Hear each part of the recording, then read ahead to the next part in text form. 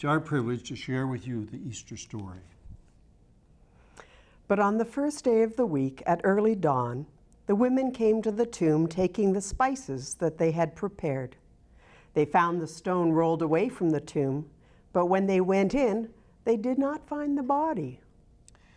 While they were perplexed about this, suddenly two men in dazzling clothes stood beside them. The women were terrified and bowed their faces to the ground. But the men said to them, Why do you look for the living among the dead? He is not here, but has risen. Remember how he told you, while he was still in Galilee, that the Son of Man must be handed over to sinners and be crucified, and on the third day rise again.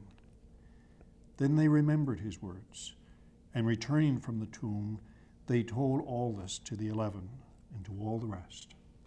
Now it was Mary Magdalene, Joanna, Mary the mother of James, and the other women with them who told this to the apostles.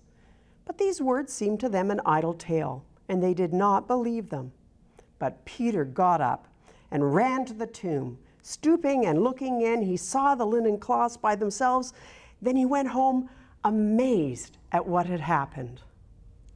And with Peter and all the disciples, we are still amazed at the glorious resurrection of Jesus from the dead.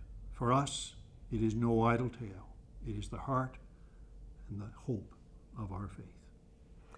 We wish you a joyous celebration of the resurrection this Easter.